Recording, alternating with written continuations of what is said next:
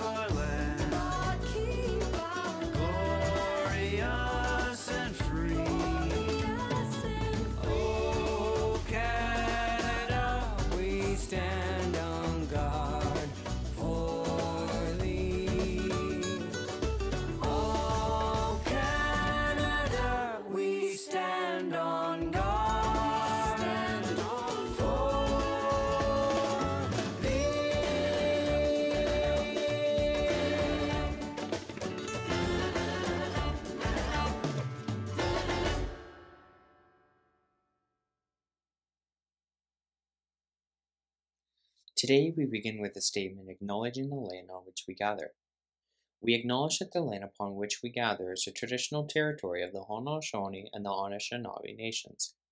We recognize that the Brant Haldimand Norfolk Catholic District School Board and its schools have many ties to Six Nations of the Grand River and Mississaugas of the Credit First Nations, situated on the traditional lands of the Haudenosaunee and the Anishinaabe, within the two wampum and the one dish, one spoon treaty areas. As a Catholic learning community and as treaty people ourselves, we strive to build the kingdom of God, where all people are treated with respect and dignity as we move forward, as allies, towards truth and reconciliation. Morning, everybody. Um, today, the church celebrates uh, a saint, uh, Saint Albert the Great. And anytime you have something great afterwards, it means they did something pretty cool. And I actually wasn't very familiar with Saint Albert, and when I saw that his name popped up um, for a saint for today, uh, so I looked into him and I realized right away that um, the reason why he was so great was because he was he was a teacher, uh, and he was a teacher of none other than Saint Thomas the Aquinas. Now, a lot of the stuff that we know today in terms of our, our faith, the way that we look at theology, we, we owe to St. Thomas the Aquinas. And it was because of St. Albert he was able to draw something great out of uh, the students that he had. You know, when I was thinking about that, it's the start of a new quad, and uh, the teachers, their job is to draw something, uh, some greatness out of all their students. So we pray in a special way for the teachers today, but we also pray for you, the students, as well. Um, that God can, uh, the Holy Spirit can, can dwell in us and, and we can learn something from our teachers and be open to learning. So if you can join me uh, in the name of the Father, and the Son, and the Holy Spirit. Amen. God, we thank you so much for uh, this new, new start to the quad. We just pray that everyone can get off on the right foot. Uh, we, uh, we also just pray for those of us who maybe have, are uh, having a teacher for the very first time. Uh, we just pray for that relationship to blossom into something great. Uh, we pray as well for those uh, students and, and teachers that maybe have interacted before. We pray that they, they can learn new things from one another. And we ask for St. Albert to pray for us as we pray the Our Father all together. Our Father, who art in heaven, hallowed be thy name. Thy kingdom come, thy will be done on earth as it is in heaven. Give us this day our daily bread, and forgive us our trespasses, as we forgive those who trespass against us. And lead us not into temptation, but deliver us from evil. Amen. In the name of the Father, and the Son, and the Holy Spirit. Amen.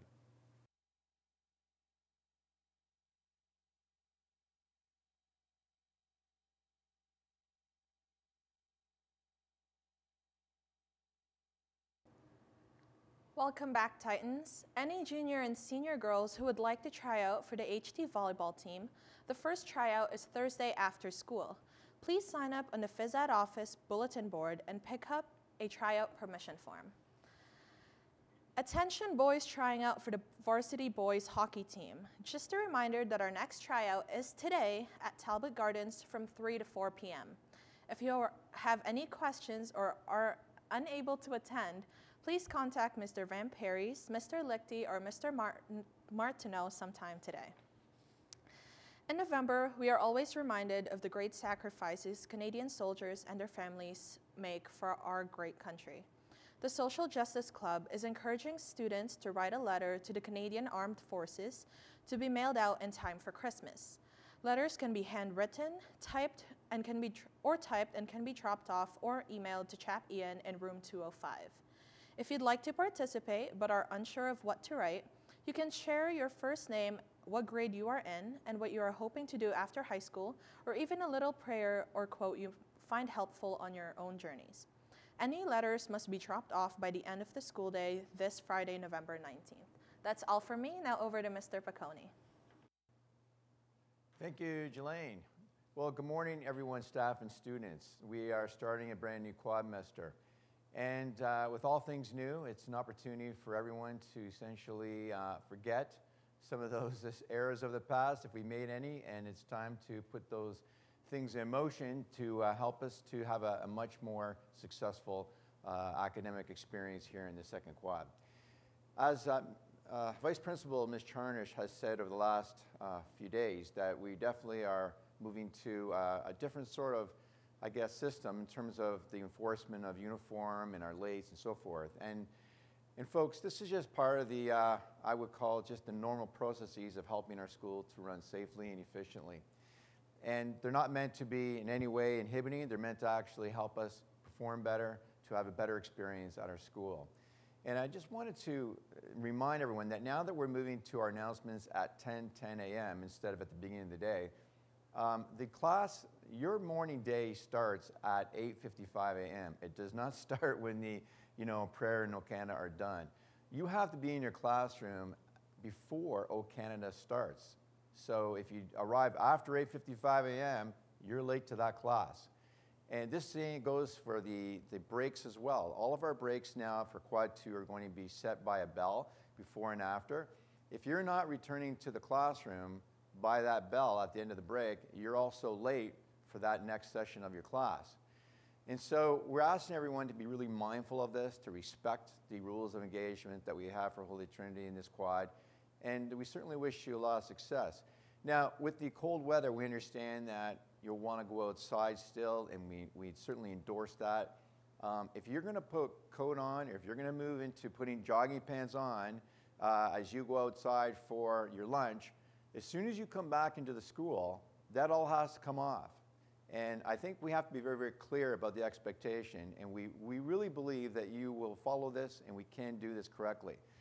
So if you're outside, you come back into the school, your jackets come off, the hats come off, the joggy pants have to come off. When you're in school, you are in uniform at all times. And then as you move to your afternoon session, definitely put your items back in your locker because you can't bring any of those to class. And I want to make that very clear that you cannot have hats, jackets, knapsacks, or, or jogging pants in your class and just put them under your desk. Those items must be in your lockers at all times. So thank you for your attention to these issues, and we wish everyone to have a great start today. Have a good day.